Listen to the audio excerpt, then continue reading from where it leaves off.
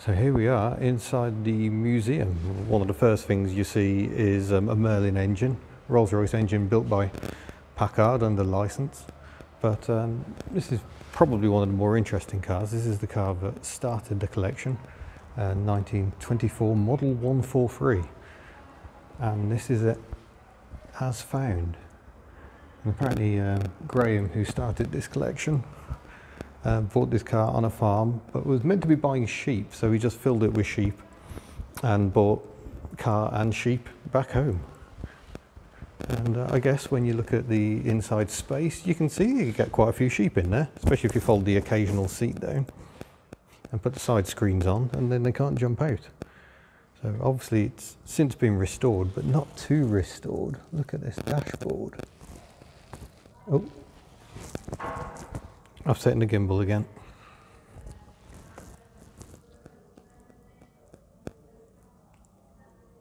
Just beautiful.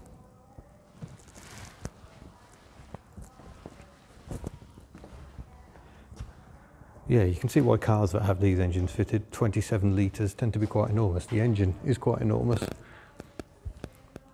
But a wonderful collection of cars. Yeah, this, this one, the, um, the starters, I'm not exactly start off, but it's a geared starter, and because it's nearly seven litres, this motor. Gosh. Quite a big engine to turn Yeah, over. 7 litre. V12, yeah. But, um, did, did Tom explain what these are for? The The primer- decompressions or No, that's yeah, priming? The primer cups for, for cold starts, so, so Mhm. in, in the days when, um, petrol was, you know, seventy octane, Yeah. a lot lower than it is now. And and also up until the late twenties, the fuel didn't have lead in it, Mm. and so um, the lead helps to seal the, the rings.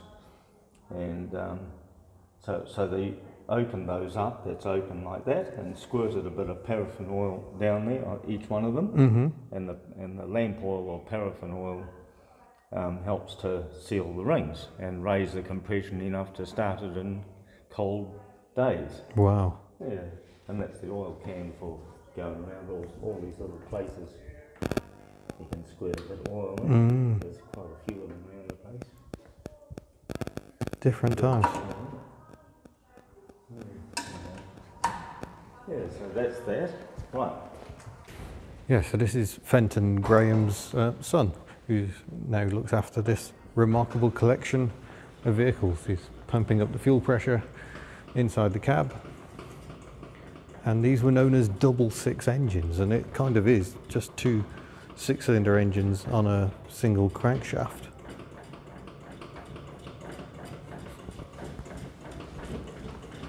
Apparently takes quite a bit of priming. right. We've got up to about 15 psi. That should be enough. Yeah. Is there a gauge to show you, or do you just there's, feel there's it? a pressure gauge there. It Oh, goes right. right up to about 40 odd or something, but 15 plenty. So we retard it a bit. We have a bit of throttle. We'll make sure it's in neutral so we don't run anyone over. Uh, turn it on. Some choke.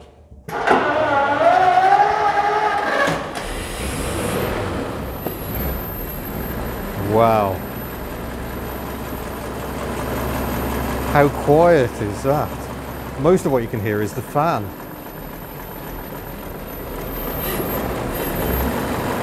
You just see the little jack shaft spinning down there, which I think is going to a dynamo.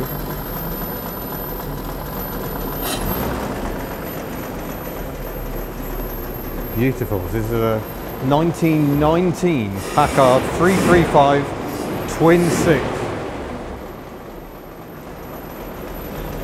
Smooth? Beautifully smooth.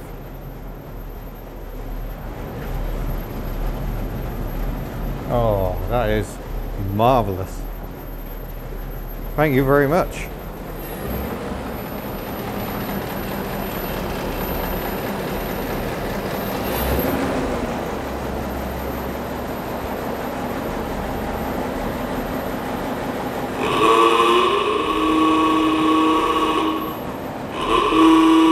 There goes the klaxon.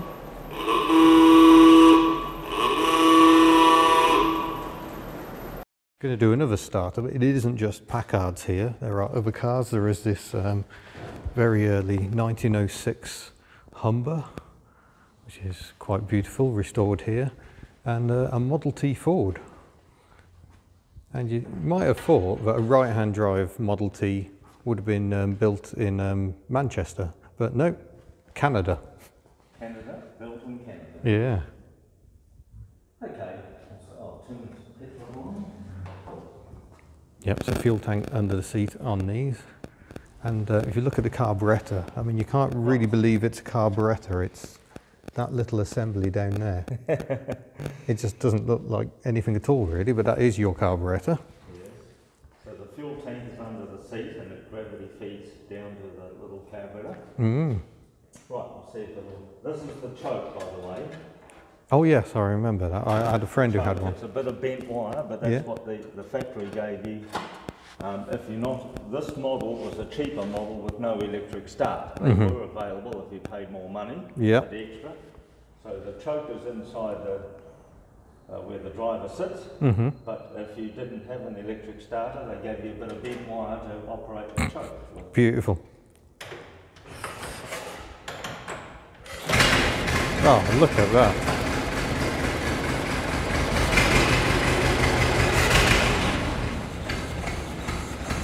Not quite as smooth being just a, oh, there she goes, being a four cylinder engine. But uh, it's, it's, it's a big old um, motor in these. A 2.9 litre four cylinder side valve engine. The controls are um, confusing to someone who's never driven It's a Model T before. Coils here, and sometimes they don't work on that one. Ah, yeah, we, we can see the other side of the coils here, uh, leading to the spark plug wires. There you go, made in Canada. No. Klaxon works.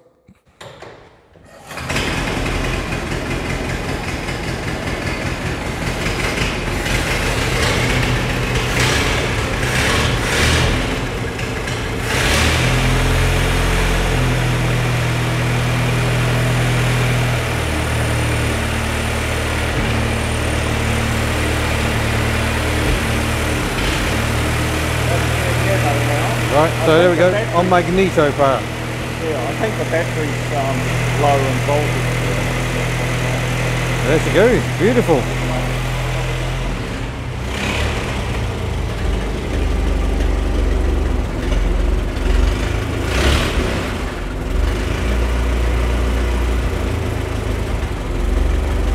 So not only have you got the difficulty with the um, hand controls, there are free pedals, but the free pedals do nothing like what you expect. So the right hand pedal is your foot brake. Uh, that puts you into the second gear, I think. Yep. Second out, first gear in. Yeah, in conjunction with the handbrake stroke gear lever, and the middle pedal makes you go backwards. That's it. So um, yeah, very very different driving experience. But that sounds lovely.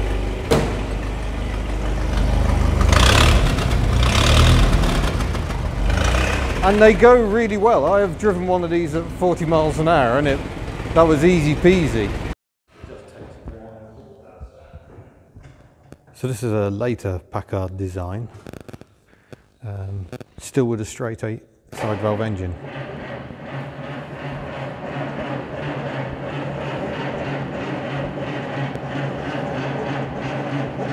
It's lost all the fuel, all the fuel's gone back to the tank, so it's got to pull the fuel through before it can start. There we go, she's got her fuel.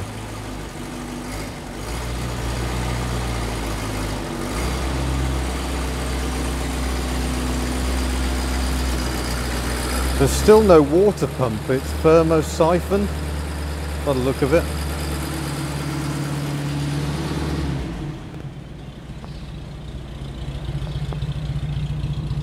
Again, a lovely muted exhaust note, and you'll see um, this collection houses lots of things. We've got um, traction engines, none of which run.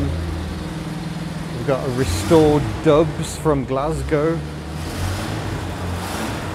Worked over most of the country. But yeah, Packards are very much the first love here. All right, okay. but it's a simple drill. It likes a little bit of ether. Stuff The, the famous stuff. called Yep. Start Bastard. That's not me, that's written on the can. Yep, yep, yep. That, that has now reached the UK to, Of course, if it- to cause much amusement. it, it, will be me speaking, but anyway. That'd be good. That's going to make a mess of your toes. That's right, because there's no safety systems on this whatsoever. That's in Blimey. gear. Yeah. That's in gear backwards. There's, um, there's a picture here, even that you know it's totally unworked. uh, work safety. Um, uh, uh, not very savoury, but, but anyway, the driver has got his feet on the blade because there is nowhere to put your feet. Someone has welded on some foot pegs Mm. on it, but they weren't on there originally. Blimey, so you just Just rest your put your feet feet on the it. bucket. And they came with a bucket or a blade, Elwyn's got a bucket, and it's supposed to be, it says here, maximum safe angle, fif, was it 50 degrees? 50 degrees, blimey, Yeah, that's, well, that's steep. That's steep, yeah, Yeah. that's steep, all right. I wouldn't like to be on it at 50 degrees. No. Anyway, we'll um, see if it'll go. It always goes, it's just um, a matter of, you see, that's why I don't need to bother with Jenny Craig because of this, you know. Yeah. Anyway. Okay, so I've- I've- it's got a decompressor which I'll put on, and um, so something just after, yeah, just any time.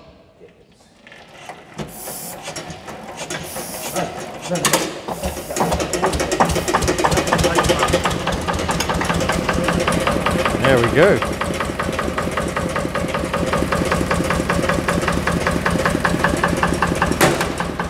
Nice little single cylinder Ruston diesel. Yeah. Single cylinder engine. And it's a hydraulic blade. It's by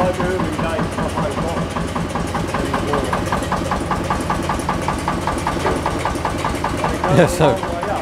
Where the further up you go, The less leg room you get. the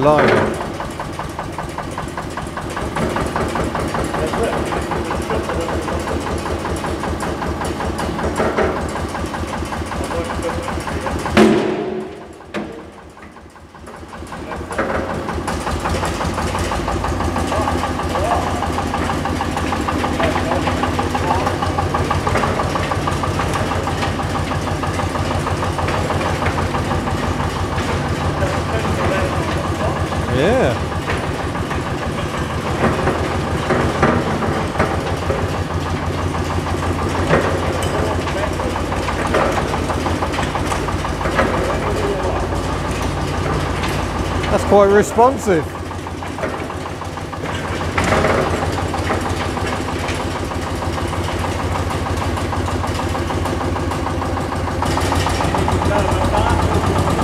Oh, oh, he's revving it up.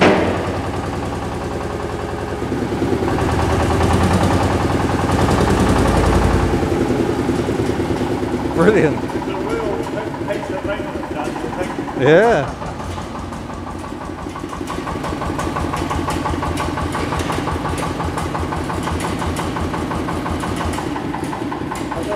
Down to nothing. It's typical British.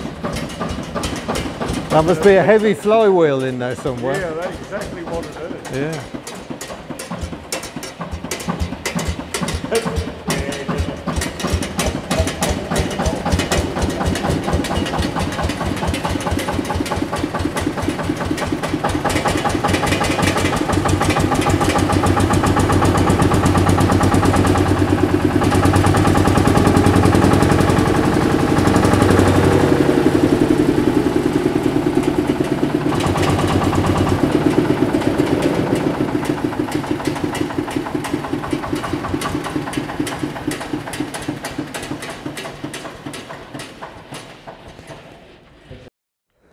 For the um, early motorbike fans, Peugeot V Twin from um, Yeah. 1904 race bike.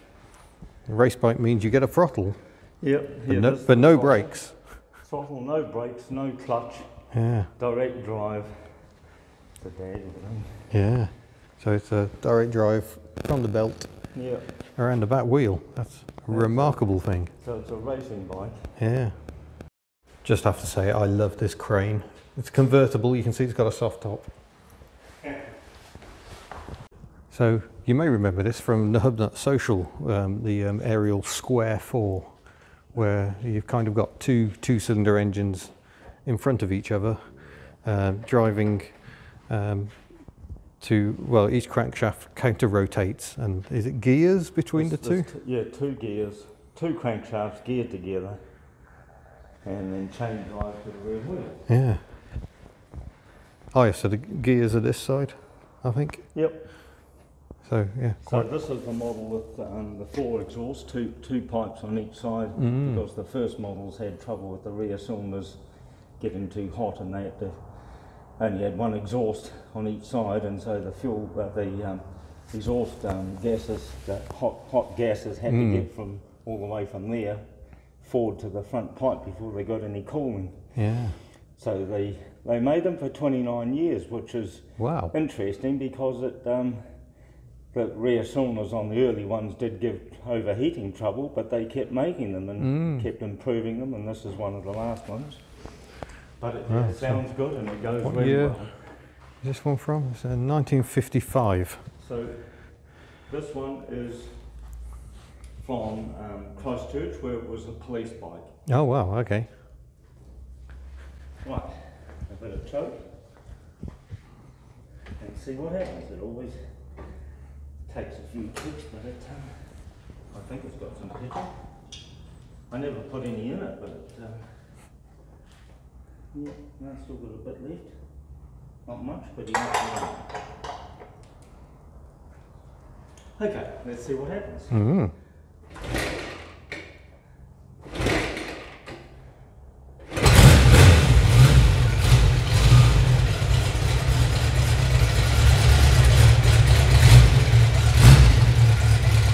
It sounds like the best sound of V8 you've ever heard. Yeah.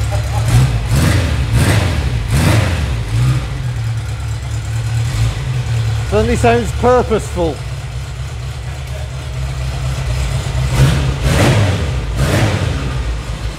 That's one of um, many bikes in this collection. There's um, all sorts here. There's um, a scooter which uh, New, New Zealand designed and built, and this is the prototype. The glass fibre cowling on it. Uh, we should see another one of those later in this trip. That sounds brilliant. Isn't it a nice sound? Yeah, lovely. Yeah. And of course, there are other things in the collection um, machine guns, steam trains, uh, bicycles and tricycles, uh, the old record players, uh, Velocette bikes. I think these were also ex police. So um, he liked his Packards, but his day job was earthworks, which is why there are quite so many old earth moving machines about. But he's just not sold over the years, he's just kept. And you know, you can't actually drive them. For, most of them don't work anymore, but they're still here. Still a piece of history. And if we switch into this building, some very interesting cars. There's another Trekker. So that's the second Trekker of our trip. The um, New Zealand built car on Skoda Octavia running gear. But we've got um, a Land Rover Series 1 used by the Queen. There's one of those at the British Motor Museum as well. There's a Jowett, which I've never heard of. So that's a new one on me. But this hall contains a lot of um, British classics. So we've got an MG Magnette, uh, Ford Prefect, FX4 Taxi, um, lots of Morris 8s over this side, and uh, an Ajax 6. Nash built.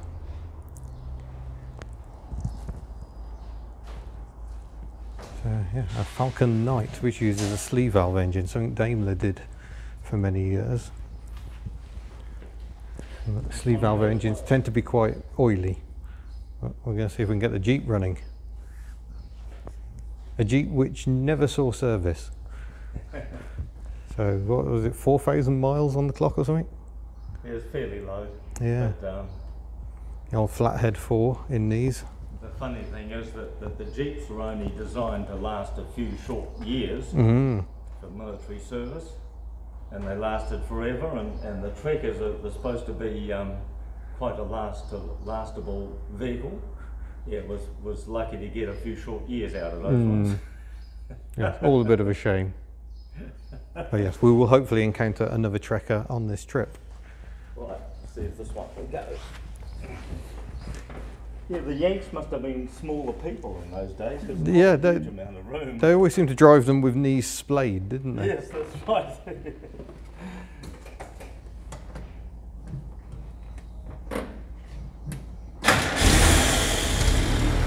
Oh, listen to that. That's the sort of starting you want if you're um, in military service.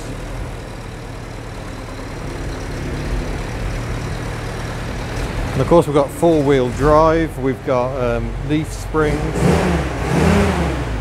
a lot of fan noise, a very distinctive fan noise. Uh, yeah, that one's in exceptional condition because it's effectively unused. Sounds beautiful. It's a nice. Yeah. Behind that, we've got a rear engine Skoda. Not a car I was necessarily expecting to see here. Morris Minor again, but over here, Austin A30 or A35 pickup. I've seen one, sorry, two of these in the UK, but they are certainly not a common sight. One on the show circuit and one at the British Motor Museum. And next to that, we have another of these Humbers that is actually a Hillman. So to us, that's a Hillman Minx, but um, I think these were assembled here and badged with a more premium Humber name. So it's a Humber 80. And we've got the Austin Atlantic, Triumph Mayflower, a car I'd definitely like to do a video on. Hillman Hunter, which seems to be the same colour as my dad's was when I was a child, I think. Good to see. Fantastic low look um, Hudson, Austin Sheerline, Armstrong Siddeley, Rover P4, Daimler Conquest, Rover Metro unexpectedly, uh, alongside uh, its Rover brethren, the um, SD1. And we've got a Humber Super Snipe there, but perhaps the most interesting car for me in this haul is this Singer Hunter. Uh, very, very rare. I mean, I can't remember the last time I saw one in the UK. They are just not a car you see anywhere. They suffered horrendously from rot. And amazingly, they've actually got two here. There is another one in another building. Complete with a horse head mascot, for it is a hunter. Yeah, sim- similar sort of door setup to a Rover P4 with suicide doors on the back. Uh, a very rare car. A Daimler double six, um, which just goes to prove even in um, New Zealand, where rot isn't so much of an issue, uh, these um, these XJs still manage to rust quite badly. It's even worse around the other side. But yeah, all of the engine. And You uh, don't want to work on it. no, I wouldn't like to change the spark plugs, which are um, They're down there somewhere. The spark plugs, they're down there. yeah, I have done the plugs in them. oh, not a fun job. Yeah, it's about a half day job. Yeah. Behind that, we've got a Triumph um, 2500, I think. Yeah, Yep. TC. Uh, TC two. they were locally assembled, I think, in New Zealand. Yep. um, but perhaps uh, one of the more interesting cars. We have our first sighting of an Austin Kimberley, uh, effectively a land crab with a boot. Uh, very strange design, very much designed for the um, Australian market. We should- in Adelaide. Yeah, we should be finding one hopefully uh, in Australia to do a test drive video on once we make it there. That'll And- be good. Yeah, I cannot wait. The Kimberley and the Tasman. Yeah, so these were the first cars I think to use the E6 um, straight six engine. Yep. Overhead cam. Yeah, so they tested the engine here um, before unleashing it on the British public. So very, very British Leyland, do the testing on your customers. exactly Yep. right. I like that. So this might well be my favourite building here. It is enormous and it is just packed full of you know earth moving machinery. Look at the size of that Allis-Chalmers there. It's huge. Uh, we but could go for driving. this oh, we could go for a drive in this Dodge. That could be exciting. I like I like the number plate because of course here you can have anything on the number plate as long as it's six characters and no one else has had it. Uh, six cylinder engine, let's see if we can fire it up.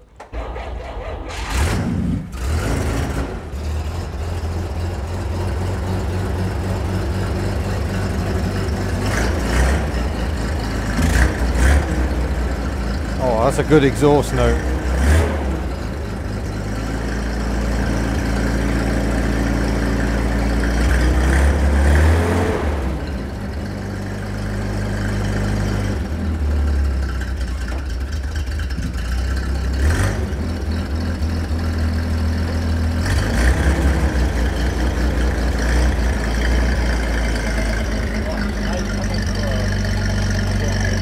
Oh, we'll go for a drive then.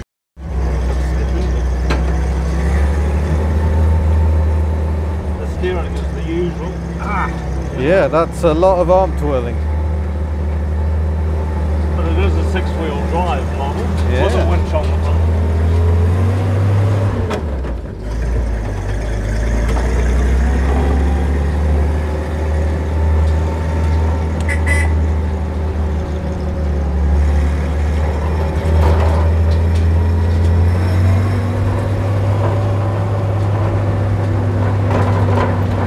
Wow. So many old trucks and things.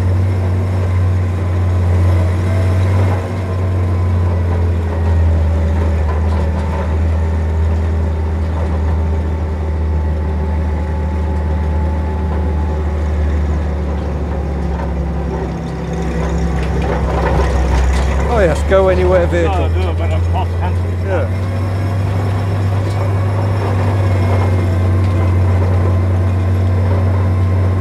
Yeah, we can get out too. couldn't we?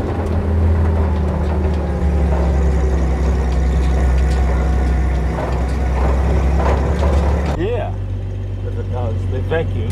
Ah. Oh, look at that. Hey, this one would. But uh, as you notice when you rev it up, Yeah, so if you're going up a hill, go Let's slow down. hill, it stops. yeah, It's a dare. beautiful. On, they both work. I wonder if they both work at once though. Oh yeah. Oh, just about. Actually, they're quite good. Yeah, beautiful. Thank you. Yeah. A carrier truck here. There's a big Bedford Carry or Commer. over there. Uh, is that a Lanchester or another Daimler? Yeah, it is a Lanchester. That's the four-cylinder version of the Daimler Conquest. Yeah. Didn't sell many of those. Uh, no, well, the, the Daimler bought um, bought the Lanchester company in the Depression when they Mm. got in trouble. Uh, nice little car. that, that's for you, Alan. Little Jowett Bradford. Yeah. uh, Diamond T back there. But there's a Ford Prefect Ute you probably want to see. We'll just walk past this instrument of torture tractor. You definitely wouldn't want to get in the way of that one. Yeah, Ford Pilot Ute. That is a very smart looking bit of kit. So more military trucks, uh, Chevrolet, big Bedford, We've got quite a few of those in the UK. Yeah, an international next to it. Yep. Um, yet more tractors and um, earth moving equipment. Big GMC. Apparently, there were loads of these left here um, by the US military and flogged off to farmers and anyone else who wanted a big heavy truck. Yeah, that's right. Yeah. So they were crane trucks, they were fertilizer spreaders, they were tow trucks, Mm. they were logging trucks, they were everything. Another old Albion, but was apparently used by a travelling theatre group. Yep. So, It's a showman's truck. yeah, quite extraordinary Went travelling around in that. Doing displays. Yeah, but perhaps the oddest vehicle here is this old Fiat um, Yeah, a tractor unit. Yeah. Um, ex-Shell New Zealand, doing the run from Auckland to Gisborne and back. Wow. Good number of wipers. Uh, Daimler Ferret, Yep. very peculiar things to drive. Uh, more internationals. Yep. This one's an RD195 with the diesel motor in it. Uh, Leyland folks will be mightily excited here as we have an Austin Landcrab Ute and a Leyland P76. So that's the first sight of a Leyland P76 other than the glimpse of a rear end we, when we saw one in a bush earlier in this trip. Uh, Michelotti styling, 4.4 litre V8. Well, they did put the six cylinder in as well. That's, that's the 8, this one, the 8. Yeah. Yes, they put, There we go. sixes in, a 2.6 litre six cylinder. They were made in Adelaide, the same place as the, the, uh, the um, uh, one we just looked at, what's that? No. Tasman and Kimberley. Mm. Made for three years. It was bad timing, it was right when the petrol fuel crisis was on and Yeah. that didn't help them. But yeah, I love these things. Yeah, I'm, I'm looking forward to finding one. I think I found one to drive in Australia, so we'll be doing a video on one. There's a few driving ones in New Zealand. Mm. I've got another one at home that, that drives, but it, at the moment Yes, it wasn't a bad car, but British Leyland was in such dire straits by the time it came out that they kind of called a halt to their Leyland operation altogether. So sad times. And if we go down here, another Singer Hunter. So there you go. That, that, all the survivors seem to be in New Zealand. And this was a, a service car which um, was used as a bus. Um, for, That's Newman's Brothers. yeah, and a V8 engine, so the fuel economy can't have been superb. Some international buses at the back. They were Newman's Yeah, from the South Island branch. Nash Rambler, This one is a Studebaker. Studebaker. Yep. It's um, a Lark actually. I made a Cruiser and a Lark. Ah, A cheaper Lark. see, I'm not very good on my American cars. Far better on my British ones. And look, it's an E-Type, Yeah. a Vauxhall E-Type. yeah. Yeah, lovely. What an amazing collection. So again, last of the line Packard with the fins on fins look. This one still needs just a little TLC. Look, we've got another one of these that's um, that's a better one. Yeah, yeah, we, we, we've seen the better one, but Yeah, I, but this, funnily enough, has got quite a good body underneath. Yeah. floor pan and I, I think the paint might be better on this one as well. Yeah. Lovely matte know, effect yeah, on that one. Yeah, exactly, There was a vacuum cleaner coat of paint on the other one. yeah. But anyway, it's a fiberglass bonnet and fiberglass wings on it. Ah, Um, a lovely, you know, attachment of the double five-inch headlights that, that is obviously clipped on the side here. You know, yeah. Curious, curious things. some people don't notice. Other people say it's just terrible. You know that they should do such a thing. Mm. But anyway, Dick Teague was the was the Packard designer at the time, Mhm. and he was asked to give a new model without spending any money, and that's how it went. Well, there you go. That's how you do it. Yeah. So cost about twenty bucks to to um, clap that on there. Yeah. Job done. Facelift complete. Yeah. Uh, it's another Jowett Bradford there. If you haven't got any money and you've got to bring out a new model, I guess it's not too bad. No, you look at it that way. you live within your means. And a lovely Series 2 Land Rover forward control. These are quite different to that 101 I drove. They've kind of got a bit of a chassis on top of a chassis. Um, it's the same, I think, um, bulkhead as a normal Land Rover. It just happens to be one the same colour. So it's just higher up, engine between the seats. Remarkable things. But yeah, gosh, the stuff they've got here is just incredible. And this video has ended up being far too long because it's just such a magical place. Wonderful. And then in this final building, we get to the end of the line for Packard this remarkable 58 and um, this very curious looking um, uh, two door, the Hawk, clearly linked to the um, Studebaker Hawk, which looks um, rather less dramatic by comparison because by the end Studebaker and Packard had merged and uh, it's just some of the remarkable cars they built.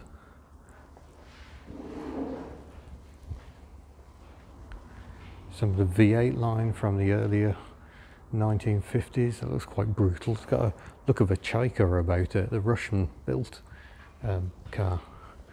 And apparently the family used to tour around South Island in this, the family that owns the museum.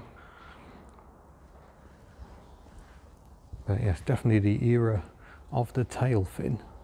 And I love how this one seems to have fins upon fins. It's like someone said, nah, that's not thin enough. Add a bit more. And uh, apparently this one was used by the Eisenhower um, government. And it's still in original condition. What a monster. So yeah, a remarkable collection indeed. Well sadly, I don't think that one is going to drag a bucket ever again. Um, but uh, what a fascinating place. Thanks to all of you who um, recommended coming to the um, Packard and Pioneer Museum. Um, I really wasn't expecting it to be as good as it is. Um, it's not just Packard, Packard's were the inspiration, that's where it all began. But that has turned out to be, um, yeah, a fascinating day out. So thank you to all those who recommended it. All that remains for me to say is to say thank you very much for watching. There will be more videos coming in this series naturally um, as I work my way around New Zealand. Uh, so I'll just say, yeah, don't forget to subscribe before you go. Uh, that'd be appreciated if you could. And uh, lots and lots of noisy timber lorries there or thereabouts. And I look forward to seeing you in a future video. Farewell.